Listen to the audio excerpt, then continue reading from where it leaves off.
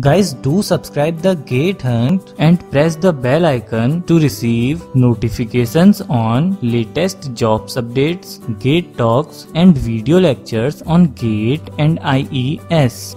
Hello guys, welcome to the 16th lecture of ICT for GS for IES. So guys, in the previous lecture, we have studied about the three types of computing that is serial computing, parallel computing and distributed computing. So in today's lecture, we will be talking about the four type of computing that is cloud computing.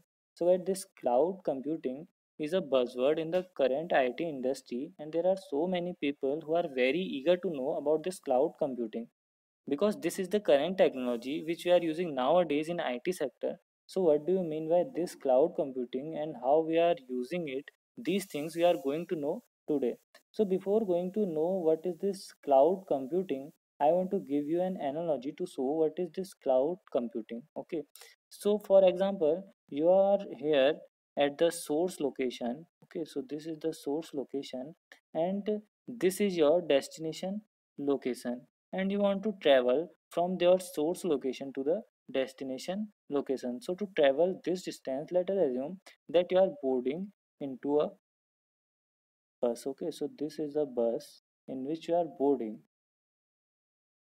and you are getting the ticket and then holding back on your seat and then the bus is moving from here to here. And along with you there are so many passengers who are having different locations as a destination and they are also traveling along with you via the same bus. So in this bus there are so many people along with you who are traveling from here to some other destination. So whenever your stop comes you will get down from the bus at that location so what you have done till now is you are taking a bus service to travel from here to there and by paying some minimum cost. So here this is one simple analogy which can clearly define what do you mean by cloud computing. So here in this analogy your bus is acting as a cloud computing and it is carrying the data and information for different people from one location to another location and is allowing to use that data or information as service by paying some minimum cost. So this is what exactly the cloud computing means. So cloud computing is carrying the data or information for different people from one location to another location and is allowing to use that data or information as service by paying some minimum cost so guys, this was an analogy which was showing that what does this cloud computing exactly means. So guys, now we will see some basic definitions which will further explain us the meaning of what does this cloud computing means.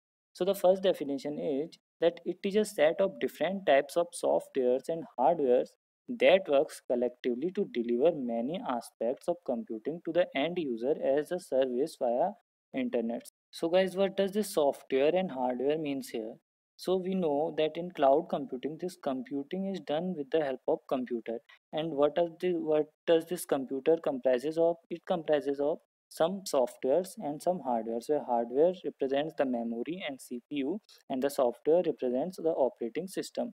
So this cloud computing is a set of different types of software and hardware that works collectively to deliver many aspects of computing so guys, these aspects of computing means whatever results are produced after the execution of your instruction. So it is a set of different types of softwares and hardwares which are present in a computer that works collectively to deliver many aspects of computing that is to deliver the results needed by the end user that is you as a service via internet. So guys the second definition says that this cloud computing is a technique to deliver the computer power as a service over internet rather than physically having the computer resources at the user location. So what do you mean by this computer power? It means the CPU and the memory. So this cloud computing is providing you CPU and memory as a service over internet to store your data rather than physically having a CPU and memory at your home. So which means, for example, whatever photo you have uploaded in your FB account, it is not saved in your physical memory. That is, whatever hard disk you are having in your computer, in that the photo is not saved.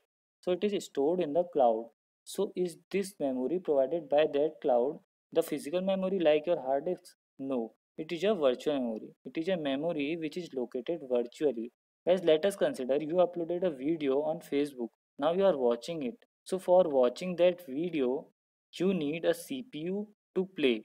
So this cpu represents the computer power. So is this cpu which is playing your video on facebook your cpu no. It is provided by the facebook to you. So it is provided virtually as a service via internet.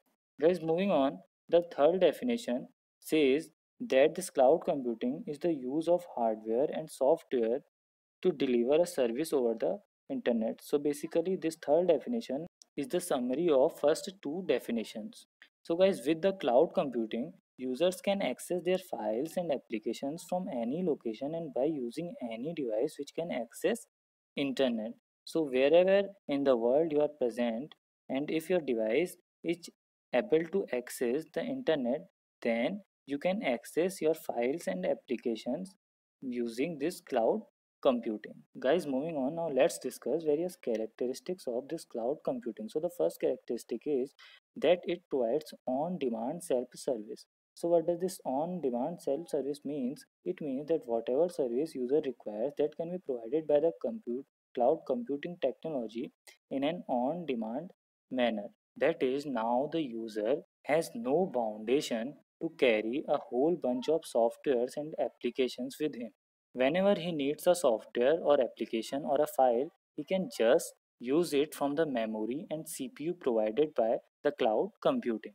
Guys, moving on, the second characteristic of this cloud computing is resource pooling, which means that whatever resources are required to prepare your files like memory, CPU, etc., all those will be pooled or grouped together in a virtual manner in the cloud computing and are readily available whenever you need them.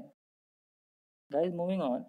Third characteristic of this cloud computing is measured performance. So to execute your applications, how much CPU power you have consumed is measured by this cloud computing. Moreover, how much storage provided to you through cloud computing is filled with your applications that also will be measured by this cloud computing. Guys, moving on, the fourth characteristic of this cloud computing is its rapid elasticity. So guys, this rapid elasticity means that whatever resources that are allocated to you in order to execute your files, at what pace they have been allocated to you. That is, how much fast they have been allocated to you.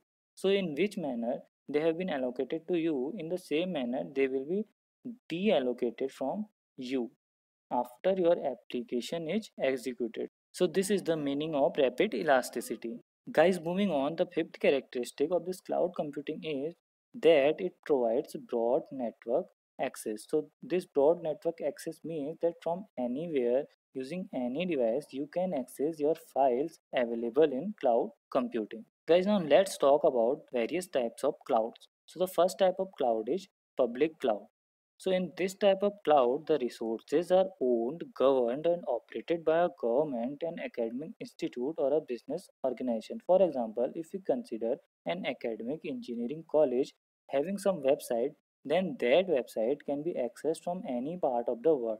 That is information like where it is located and number of admissions per branch etc. can be easily known. This is due to the reason that the information is available as a public cloud. Guys moving on the second type of cloud is private cloud. So here the computing resources are deployed for only one person. So for example i can save my important certificates and documents in the form of a cloud on the internet. And whenever i need them i can download them from my gmail account. So this data and information uploaded by me is available only to me. So this form of cloud is known as private cloud. Guys, moving on, the third type of cloud is the community cloud. So here, computer resources are provided for a community or organization. So for example, if we again consider an academic engineering college having some website, then in that website there will be some portals like students portal, faculty portal and these portals can be accessed by only either students or faculties which means that resources available with respect to that portal can be accessed only by a community or an organization. Guys, moving on, the fourth type of cloud is hybrid cloud. So it is the combination of best features of both public cloud and private cloud. So guys, now let's talk about the various types of services provided by cloud computing. So there are basically three types of services that are provided by cloud computing. First one is SaaS, second one is PaaS, third one is IaaS. So it is also referred as SIP model of cloud computing where this S represents SaaS, I represents IaaS and P represents PaaS. So we will talk about all these types of services provided by cloud computing in detail. So first service that is provided by cloud computing is SaaS. So guys this SaaS stands for software as a service. So guys when you are a simple client and you want to use a software but you have nothing in your hands that is you don't have the required software available to you physically on your system then you are using this SaaS. So for example, let us consider that you want to play a game and that game is not available to you physically on your system. So now you are running internet and you are playing that game online. So the memory power and the CPU power required to play that game is provided to you through the website through which you are playing that game. So this is an example of SaaS. Guys, another example of using this SaaS can be that to develop a C program, there is no need to have a C program software on your PC physically. Rather than you can develop it using a website called codechef.com. So this is again an example of using this SaaS. Guys, moving on, the next service provided by this cloud computing is PaaS. Guys, this PaaS stands for Platform as a Service.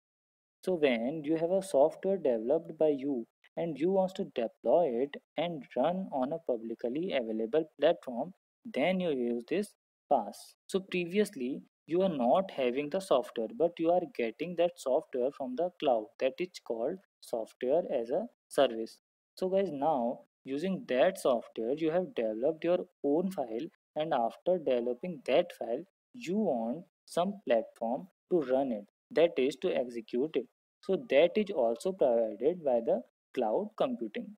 So that is what the meaning of PaaS platform as a service so for example codechef.com is providing a software to develop a c program after developing it if you want to run it so for execution of that c file you need some platform and that platform is again provided by this codechef.com which means that it is providing a platform as a service. Guys, moving on, the next type of service that is provided by this cloud computing is infrastructure as a service. So when you have a software and the platform ready, but you want to have some hardware that is memory and CPU etc to run that, then you use this IaaS that is infrastructure as a service. Guys, now let's talk about various advantages of this cloud computing. So the first advantage of this cloud computing is that it offers lower cost.